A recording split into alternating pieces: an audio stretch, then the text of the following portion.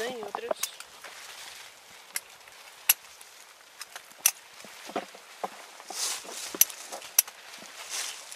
Esta é a melhor. Aqui.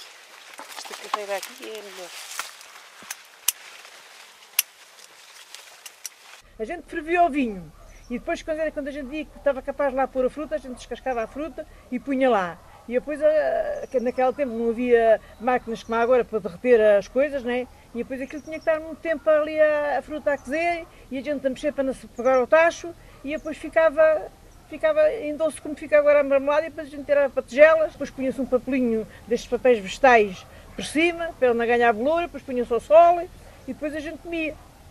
A gente escolhe aquela parte das vinhas que dão mais grau, tem mais açúcar. É assim, tenho aqui vinho na minha adega com 16,5. Aquilo é uma pólvora, não é? Isso. Tirava-se o líquido, ela fervia, é que fazia o tal dito doce. Não é preciso açúcar, não é preciso nada. O açúcar tem ele.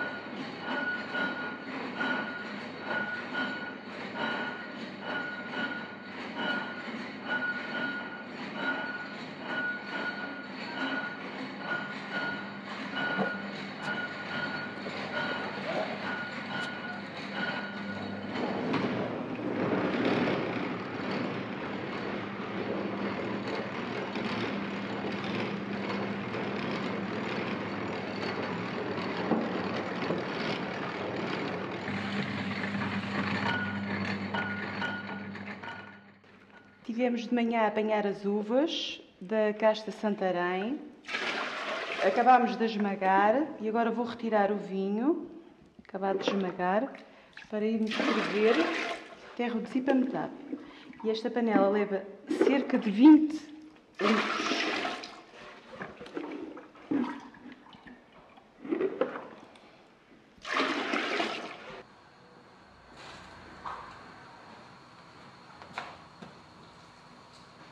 Aqui há, há 40 minutos a tirar a espuma e está quase, quase a ficar sem espuma. Aqui mais 5 minutinhos vou tapar o texto e esperar que reduza a metade. Não há necessidade de fazer mais nada. E aquilo fervia, fervia, com os peros que se chamava focinho de coelho, que eram uns peros muito pequeninos e assim, e depois aqui neste sítio tinham assim um, um este, esta zona muito pronunciada, eles chamavam perinho focinho de coelho. E então com essa fruta é que se colocava e se fazia o doce, que depois, que por vezes até durava de um ano para o outro. Para chegar a este nível, a metade, teve cerca de 3 horas a ferver. Pó de canela.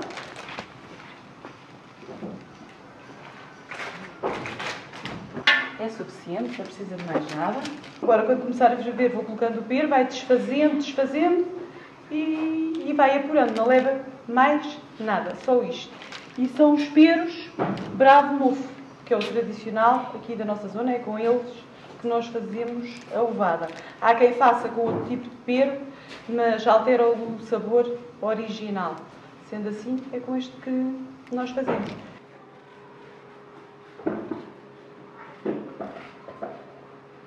Também preparada para toda a carne. Ah, pois é. Mas eu já Esta, esta caixa. Não, aquilo para ver. Ou seja, eu estou a cortar. Mas cor- corta ao meio. Posso cortar já? Sim. Depois evita o trabalho de estar a cortar Está bem. Mais unificado. Mais depressa que Mas também não pode ficar muito miúdo. Não. Depois dissolve-se muito e, não, e nem o vinho. A minha avó fazia sempre à noite, quando acabava o serviço, porque andava a ganhar a jorna, naquela altura era como se dizia, andar a ganhar a jorna o dia todo, e depois fazia dividido com a minha tia, que era a irmã dela, que era a minha tia Madalena. Faziam que era já depois do, do horário do, do trabalho, vinham para casa, faziam e, como demorava muito tempo, alternavam-se. Era, levava praticamente uma noite inteira. Sempre vi fazer por intuição. Nós, nós vimos que aquele líquido está, está ocupado e é muito a experiência da pessoa. Não, não, há, não é como os outros doces que é tanto de açúcar e tanto de, de fruta. Isto é muito a intuição da pessoa. Então agora vou tirar o texto, como podem ver já começou a ferver e vou começar a juntar os peros que vão começando a desfazer-se.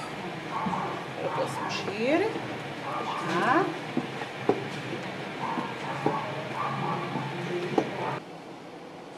Já, já os sinto mais molinhos, porque eles é que é um doce que não é nada triturado, é, é o tempo, é o. Portanto, estes doces agora mais novos trituram-se, este não. Este é com, com o mexer, com, com o tempo, é que faz com que se dissolva e, e vai apurando e fazendo assim. Como já disse, não leva açúcar nenhum. É apenas o doce do pero, juntamente com o vinho, porque o vinho, ao ser fervido para metade, também já ficou mais doce. Ficou com. Pronto, ficou mais doce. Para além de ficar mais espesso.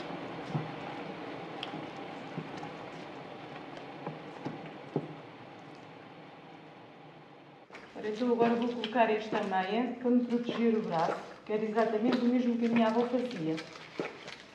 Ao colocar a, que é esta, mão que mexe no guia de pau, e agora, como com o apurar vai salpicar bastante, tenho que ter o braço protegido. Assim, agora um elásticozinho, para fugir do sítio. Já está. Como podem ver, ferve bastante, deita por fora, porque não se poderia fazer uma cozinha normal, como podem reparar, suja tudo e salpica tudo. Por isso, e também fi- fiz esta adaptação na colher para que possa estar de pé, a mexer e para estar mais longe do tacho. A do tacho mais pequenino já está a ficar apuradinha. Como vêem, já está a ficar presazinha. Mais um bocadinho. E fica pronto. Do tacho maior ainda vai demorar, bem à vontade, mais uma horinha. Desde que acabámos de pôr o já passaram 3 horas à vontade. Há 3 horas que aqui estou. Desde que acabamos de. Mas desde o início até agora já lá vão 5 horas. Ontem foram 3 horas.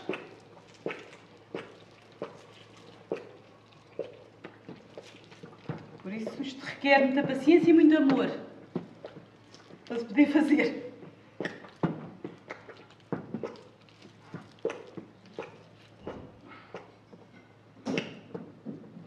Mas depois sabe bem no inverno estarmos a comer a levada,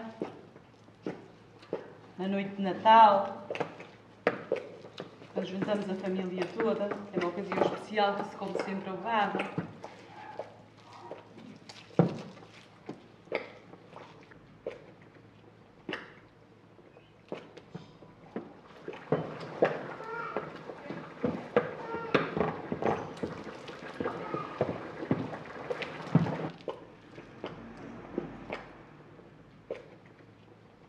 fizesse isto e ela juntasse é porque estava demasiado líquida e não, não estava no ponto.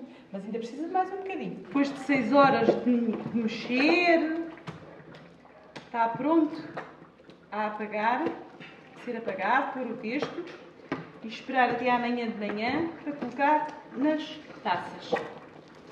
Então, vou apagar.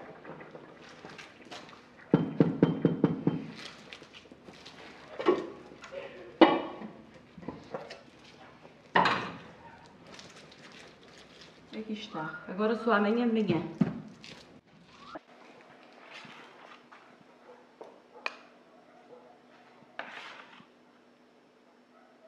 Como vê, não pegou nada.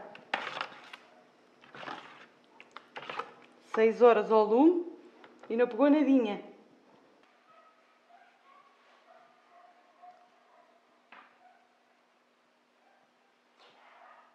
Para finalizar, para que tenha uma maior durabilidade, vou, colocar papel cristal passado por água de vinho. Prontinho. Isto está pronto.